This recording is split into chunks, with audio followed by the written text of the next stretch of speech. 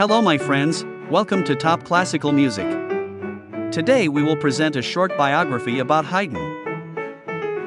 Franz Joseph Haydn was recruited at age 8 to the sing in the choir at St. Stephen's Cathedral in Vienna, where he went on to learn to play violin and keyboard. After he left the choir, he supported himself by teaching and playing violin while studying counterpoint and harmony. Haydn soon became an assistant to composer Nicola Porpora in exchange for lessons, and in 1761 he was named Kapellmeister, or court musician, at the palace of the influential Esterhazy family, a position that would financially support him for nearly 30 years. Isolated at the palace from other composers and musical trends, he was, as he put it, forced to become original.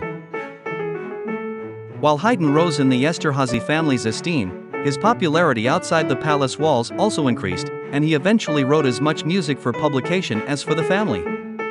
Several important works of this period were commissions from abroad, such as the Paris Symphonies and the original orchestral version of The Seven Last Words of Christ.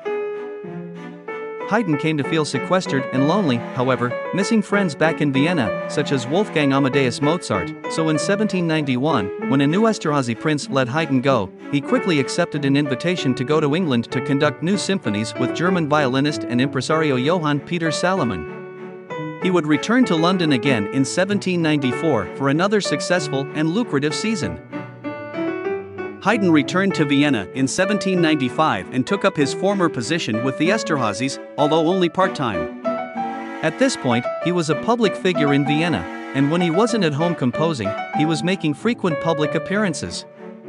With his health failing, his creative spirit outlasted his ability to harness it, and he died at age 77. Haydn is remembered as the first great symphonist and the composer who essentially invented the string quartet. The principal engineer of the classical style, Haydn exerted influence on the likes of Mozart, his student Ludwig van Beethoven, and scores of others. Well, that's all for today. See you in the next video.